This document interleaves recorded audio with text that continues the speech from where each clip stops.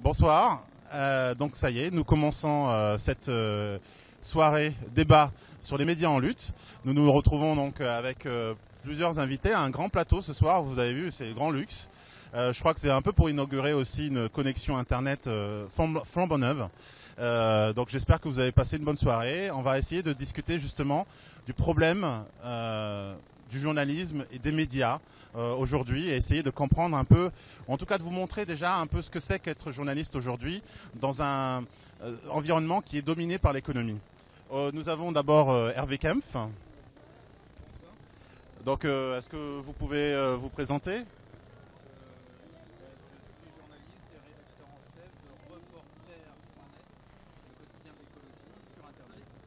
D'accord. Nous avons une pigiste en galère, comme on dit.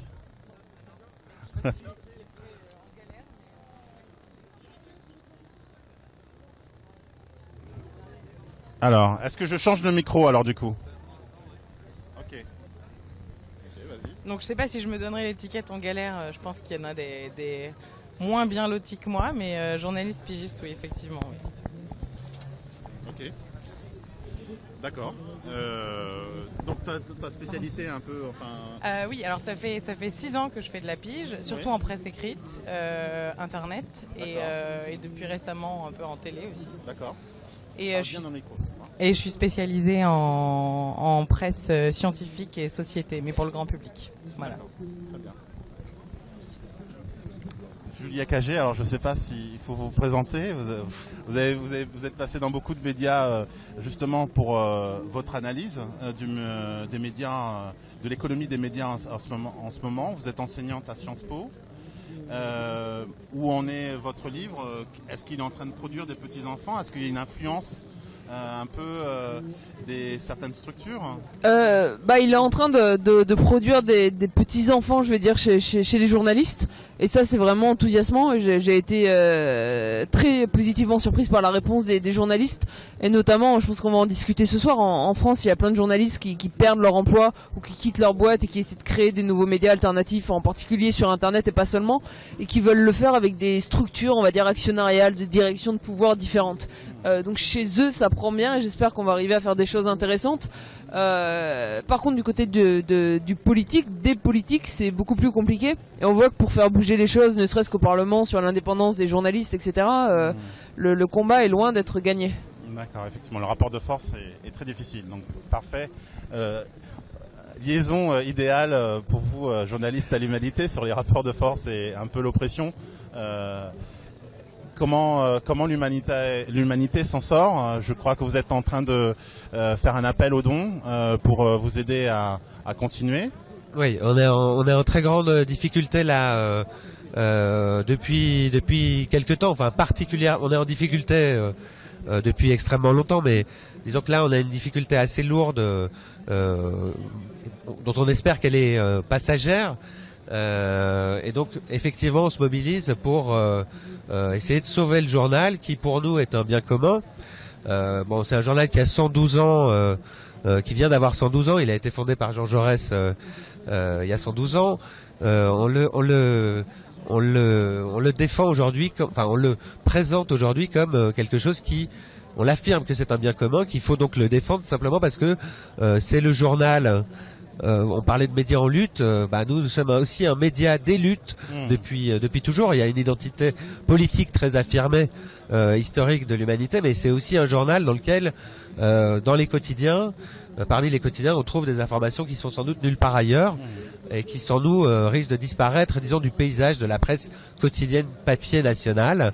Hmm. donc on pense qu'il faut, bah, nous on se mobilise en tant que salariés, on appelle en fait nos lecteurs, mais aussi au-delà, euh, à se mobiliser pour nous pour garantir, pour nous mettre en fait, comme on dit, sous protection populaire et citoyenne. Je veux juste dire une toute petite chose là, c'est que on, le journal euh, pourrait être euh, l'objet d'appétit, enfin c'est en tout cas ce qu'on nous dit un petit peu en interne, d'appétit de grands groupes financiers qui sont ceux aujourd'hui qui concentrent, qui sont en train d'opérer la concentration des médias qu'on connaît, hein, avec Libération, Le Monde, enfin toutes les, les fusions, acquisitions qui existent dans le secteur pour le moment.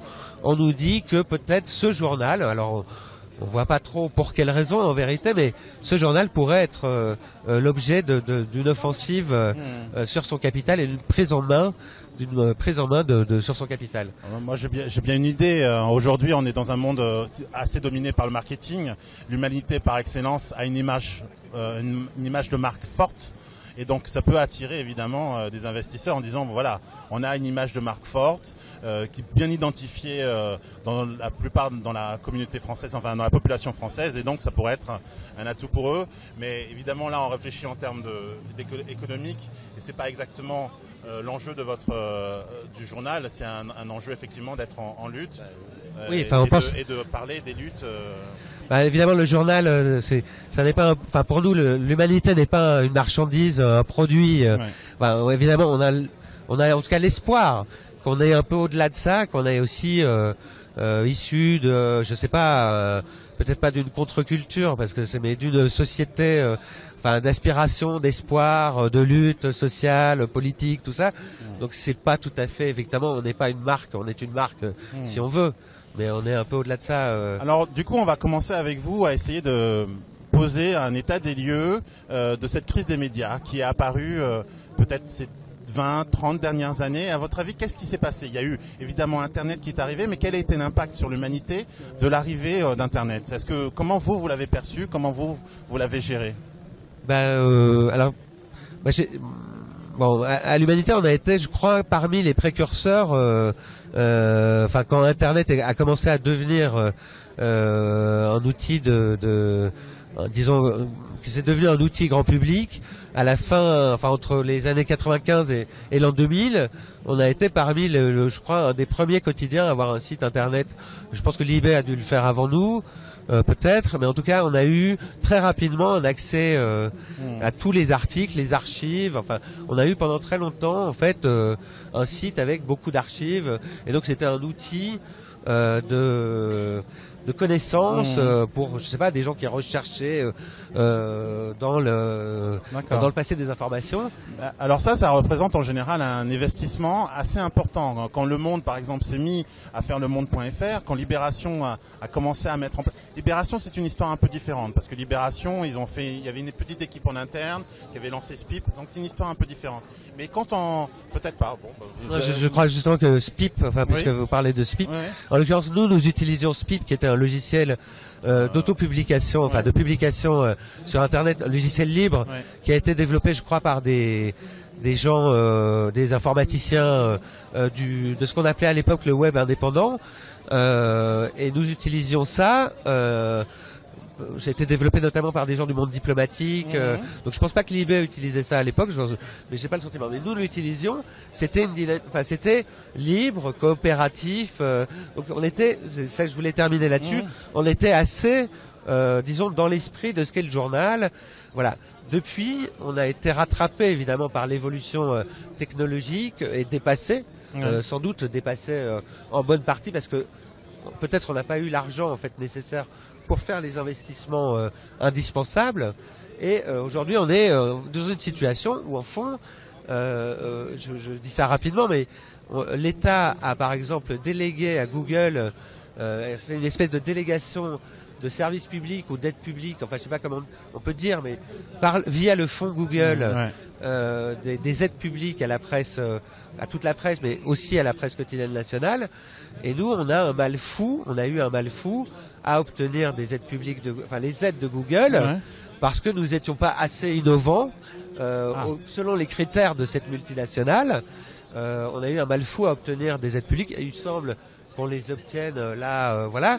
on les obtient après beaucoup d'autres gens. Et le Mm. fait que l'État, euh, effectivement, euh, sous couvert de euh, change, bouleversements technologiques, euh, euh, d'exigences d'innovation euh, compétitive, de développement, etc., euh, transfère à Google une part de, de Mm. du financement public, même si c'est les aides publiques sont restées, euh, les aides publiques euh, euh, au quotidien, faibles ressources publicitaires, Mhm. etc., sont restées. Elles ont sans doute baissé euh, en, en volume. Hmm. Mais le, cette- ce, ce basculement-là, à Google, ce transfert-là, est quand même un fait très important dans l'économie des médias aujourd'hui, me semble-t-il. Enfin, je sais pas. Alors oui justement, bah, c'est parfait, l'enchaînement est idéal. Moi, vous venez de me briser le cœur parce que ça fait à peu près un an et demi, deux ans, j'avais appris que, que la Croix avait appliqué au fond Google, que Alter Eco avait appliqué au fond Google, et je m'étais dit, ça sera la fin, le jour où l'humanité ira demander de l'argent au fond Google.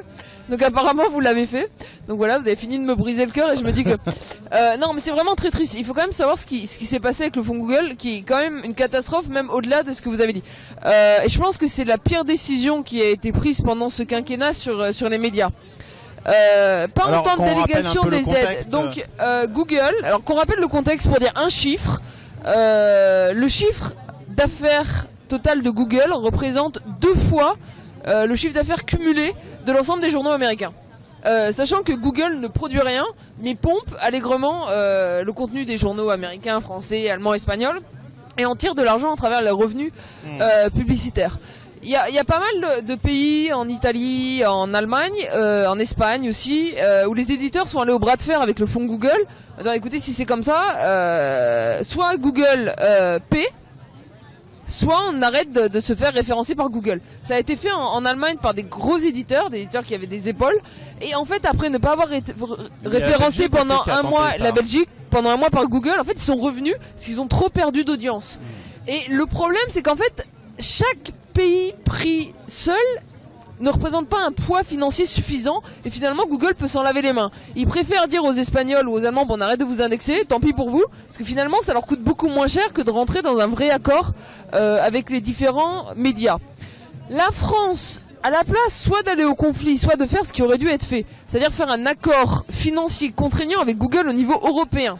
Et là, pour le coup, si Google avait arrêté d'indexer l'ensemble des médias européens, ça aurait coûté trop cher à leurs services d'actualité. À la place de faire ça, la France a dit, nous, on va innover.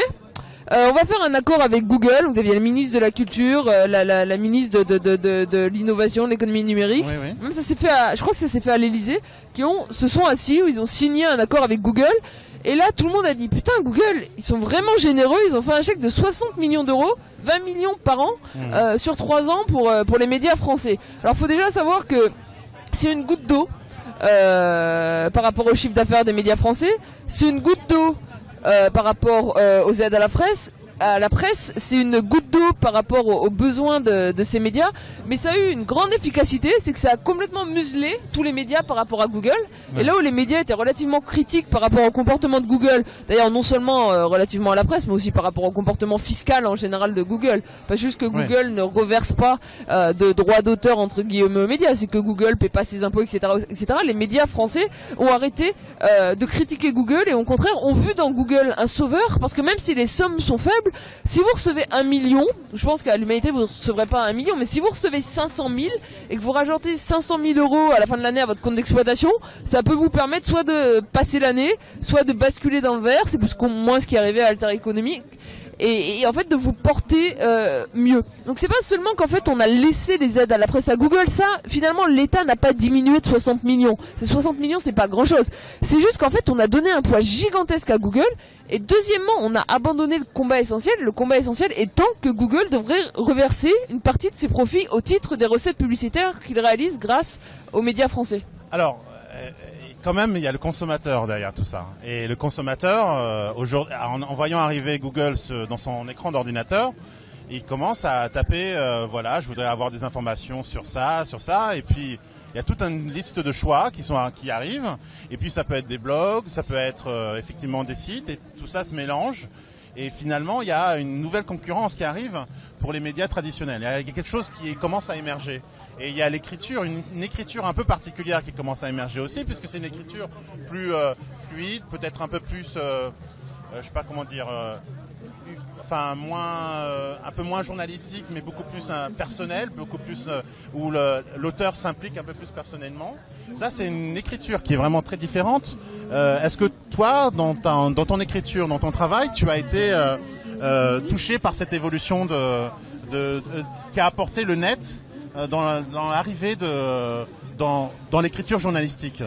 Alors, euh, et non. C'est-à-dire, je suis d'accord dans le sens où effectivement, on a l'impression que dans les nouveaux médias, notamment dans les médias de société, on, euh, on, voit une recrudescence de l'écriture un peu gonzo, où on se met un peu en scène, quelque chose qui pourrait faire écho à l'écriture blog.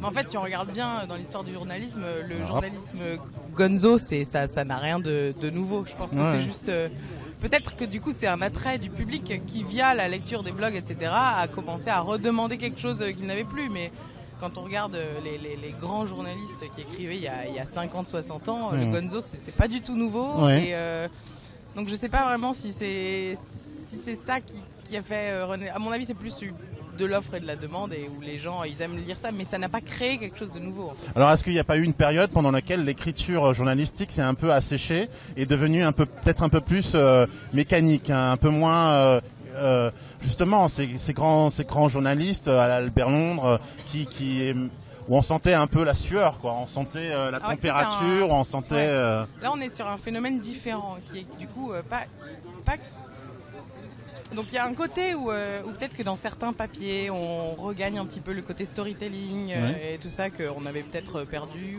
euh, ou, perdu dans les grands médias que tout le monde lisait.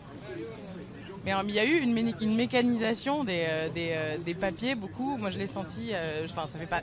J'ai pas 20 ans de carrière derrière moi, donc j'ai pas senti une évolution énorme. Mais j'ai commencé à travailler dans le domaine du journalisme il y a 7 ans.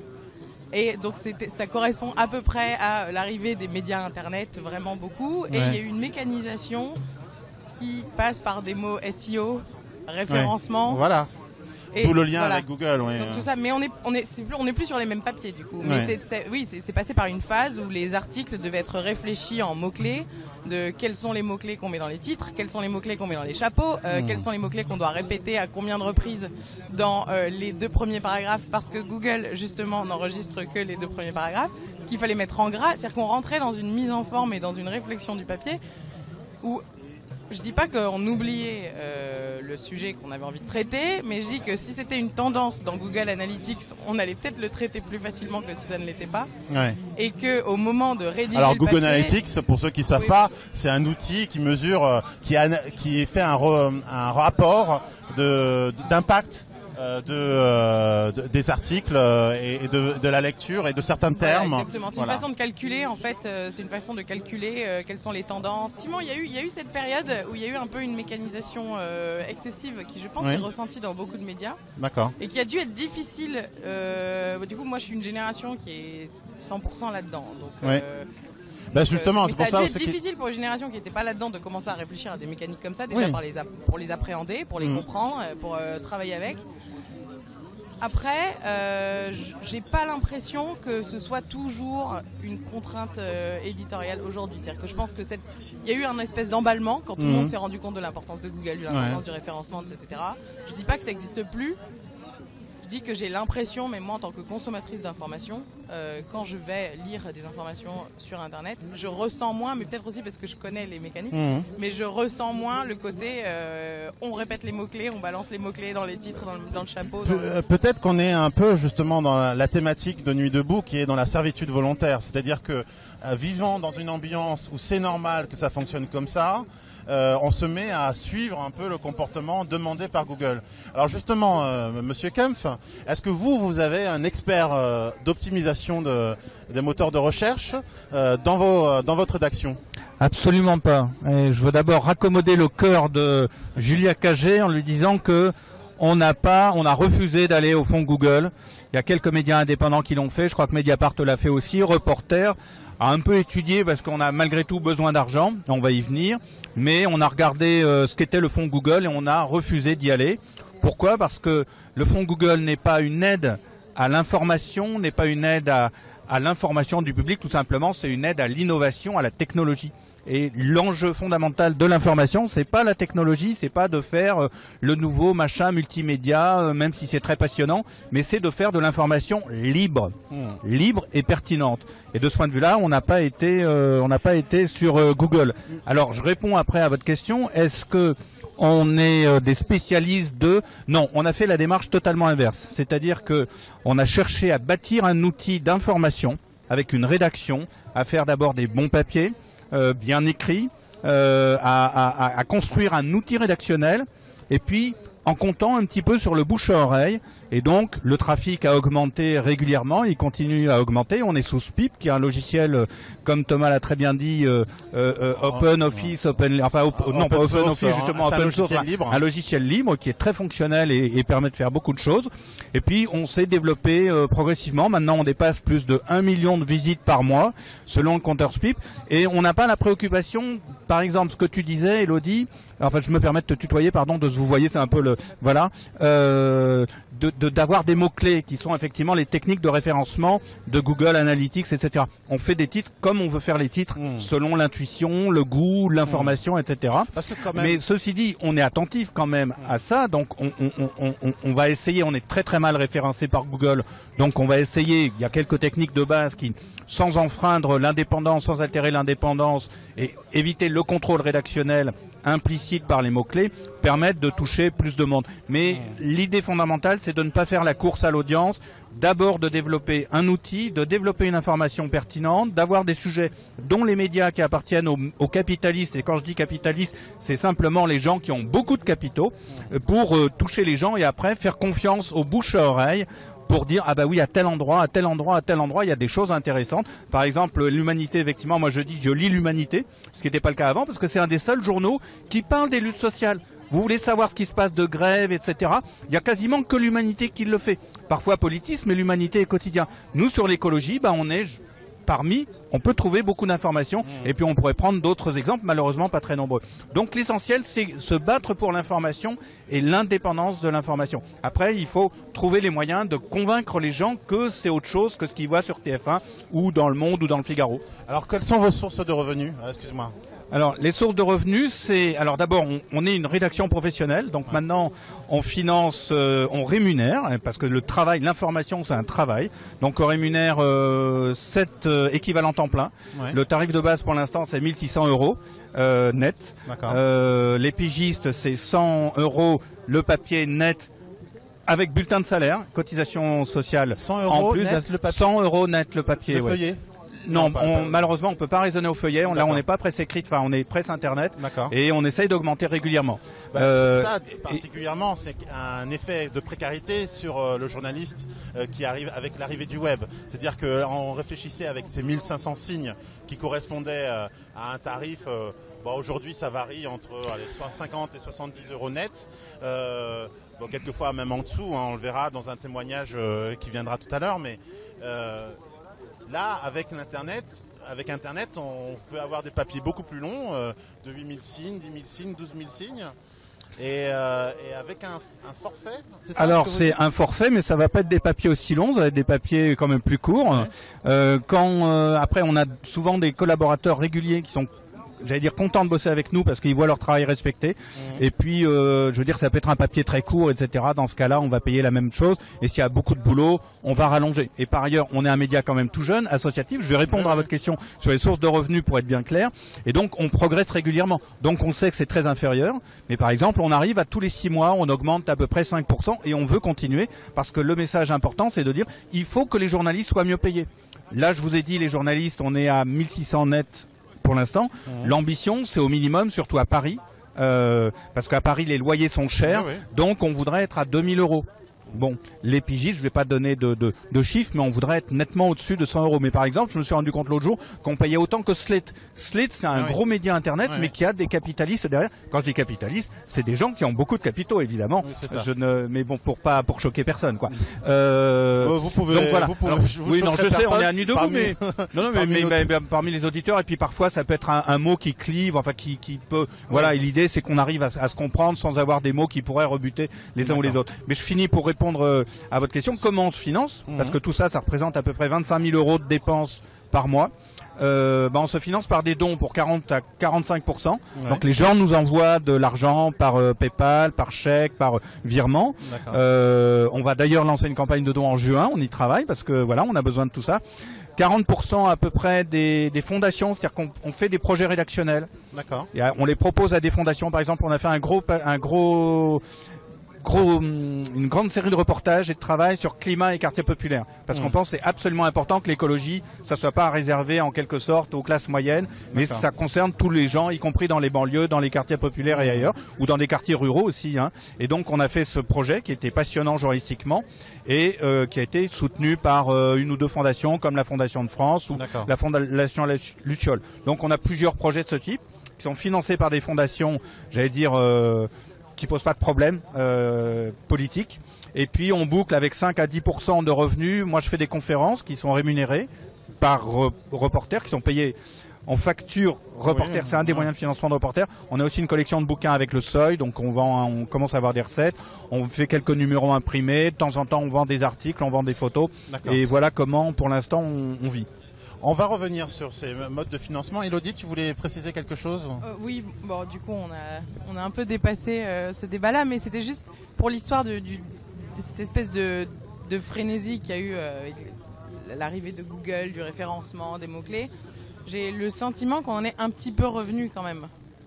C'est-à-dire parce que tu, Ouais.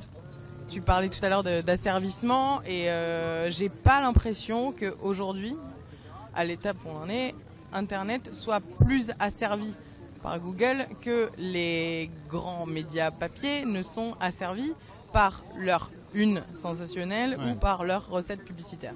Hmm. Voilà, donc euh, il y a eu une espèce de frénésie dont je pense on est un petit peu revenu. Ouais.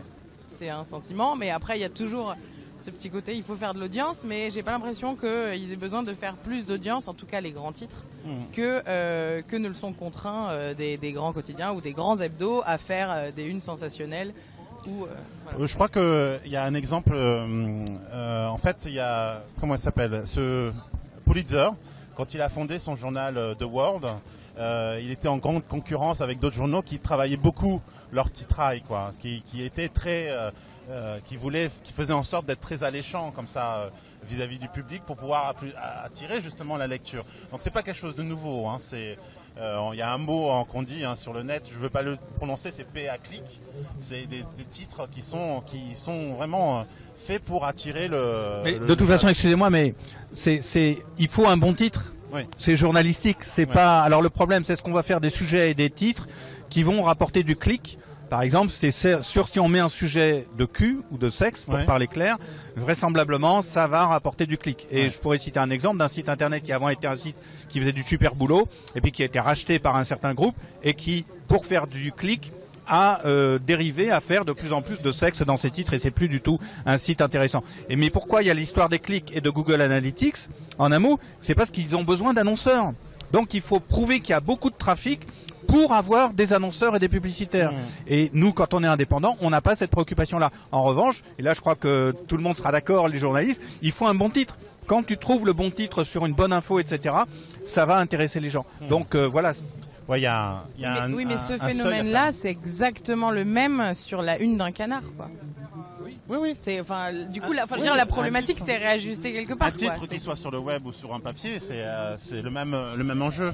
Il y a quand même une vraie différence, c'est qu'on retitre pas sur le papier. C'est-à-dire qu'une fois que vous avez titré, vous n'allez pas récupérer votre papier en kiosque, il va pas se vendre. Alors que vous avez des journalistes qui ne sont payés qu'à retitrer. Parce qu'en gros, un article, quand il est depuis, depuis trop longtemps sur Internet, il baisse sur Google. S'il a un titre trop similaire, il baisse. Donc vous rechapeautez, vous retitrez pour refaire monter un article similaire.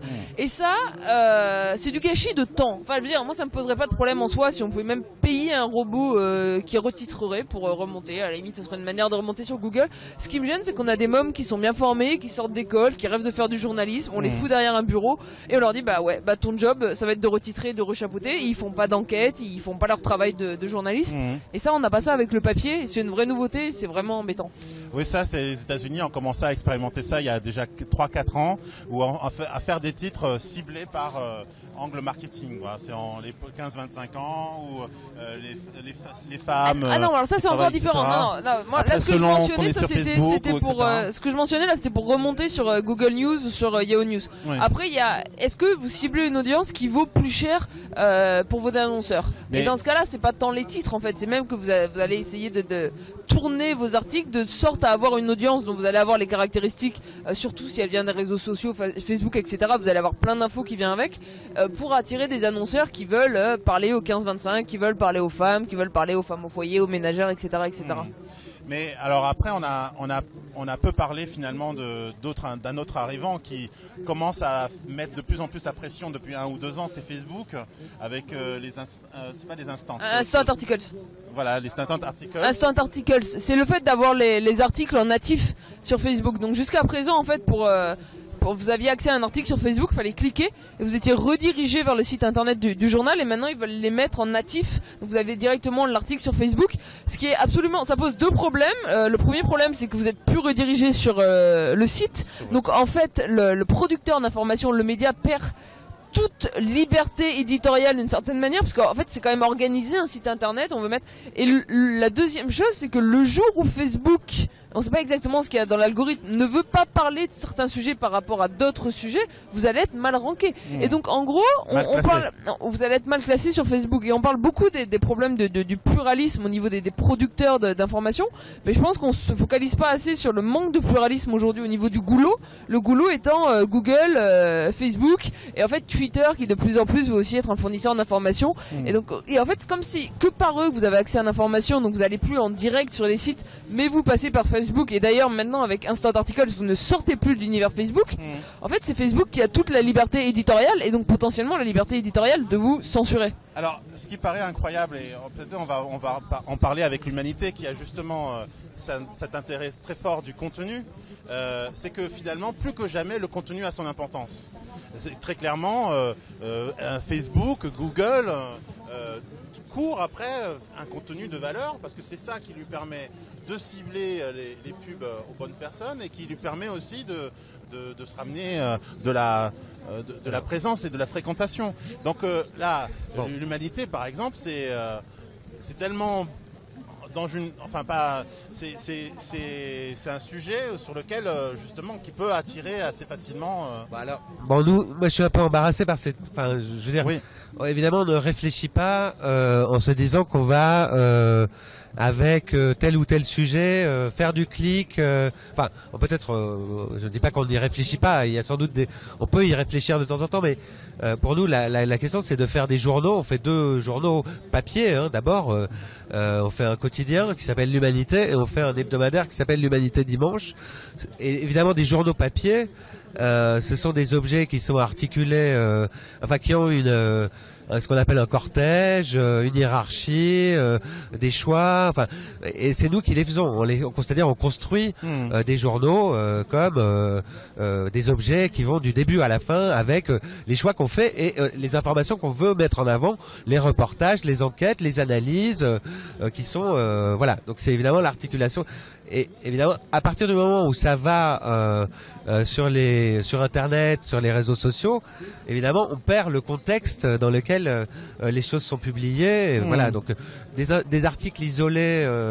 Enfin pour nous notre on n'arrive pas encore, je pense, à réfléchir tout à fait comme vous vous, vous y invitiez en quelque sorte. Non, en, tout cas, dire- en tout cas, c'est ainsi que les Oui, oui. que les supports sur Internet ont tendance Bien à, sûr, bien sûr. à- à- à aiguiller. Alors on voit que la presse magazine euh, papier se porte plutôt pas mal, on dit en France. Euh, Ces derniers temps, elle est- je crois qu'elle est plutôt en train de baisser. Enfin, c'est Ouais, elle se ça porte très très mal en fait, je crois. elle se Euh, porte très très mal. ouais, Ah bon, bah, alors, Ouais. bah, je sais pas. Genre, on m'avait dit que Nouvelle Ops, Le Point, tout ça, euh, Marianne. euh, euh, de- Ah oui, d'accord. Non, ça c'était ah bon, ok. voilà, Ouais. donc parfait. Euh, J'avais pas les sous de l'acheter. Euh, non mais, euh, mais euh, plus sérieusement, en fait, j'ai j'ai vécu dans ma, dans ma vie de journaliste euh, très courte euh, cette expérience où des rédacteurs en chef viennent me chercher en me disant euh, on va faire un 4 pages qui va être distribué à tel AG de telle grande industrie. C'est super bien payé. On a un budget de euh, 40 000 euros pour faire, je sais pas moi, on va dire euh, 15 000 signes. Euh, vous serez super bien payé, mais par contre, vous parlez pas de ça, vous parlez pas de ça, et vous parlez que de nos experts, etc., etc. Donc il y a, j'ai réalisé que finalement les magazines, enfin les journaux, la presse se mettaient à faire euh, des ménages, comme les journalistes, eux, pour survivre, parce qu'ils sont pas assez payés, sont obligés de faire travailler à côté sur d'autres métiers pour rééquilibrer leur salaire. Même les- les- la presse se met à faire ça. Alors il y en a un qui est assez connu, l'Express euh, fait beaucoup, pas mal de choses comme ça. Il y a l'étudiant qui fait des salons. Enfin, alors après il y a une manière de dire bon, on a une thématique qui accompagne euh, des gens, mais il y a aussi euh, d'autres qui accompagnent vraiment très loin des gros, de gros industriels. Alors c'est une source de revenus qui est évidemment euh, très intéressante pour euh, pour, de- pour des journaux, mais euh, est-ce que c'est Oui. vivable? Est-ce que Alors, Moi, je, je peux parler que de mon expérience elle est assez éloignée de ce que vous décrivez, puisque nous, évidemment, on ne fait pas de, de ménage pour de grands industriels. On fait, on fait, on ferait même plutôt le contraire, en fait. C'est-à-dire, nous, on fait le, on fait, c'est-à-dire, on fait le ménage. On va, c'est les ménages qu'on fait éventuellement, mais ce ne sont pas des ménages, évidemment. C'est du côté des, des salariés qui, dans ces grands groupes, Ouais. se battent pour. euh, donc, on les embarrasse plutôt. Et je voudrais quand même juste rassurer quand même Julia Cagé sur Google. Enfin, évidemment, euh, nous. euh, je pense, enfin, moi je ne suis pas, on n'est pas allé chercher le fond Google, on est allé le chercher, mais ça nous empêche pas du tout, ça nous empêche pas du tout et pas une minute et pas de faire les papiers euh, sur l'évasion fiscale de Google, des mastodontes euh, du web. Donc cette question, en tout cas sur la question de l'indépendance par rapport à Google, chez nous elle se pose pas du tout. Euh, donc je, je dis quand même, et- et je- enfin tout notre boulot en fait, c'est quand même, euh, c'est quand même de faire ça.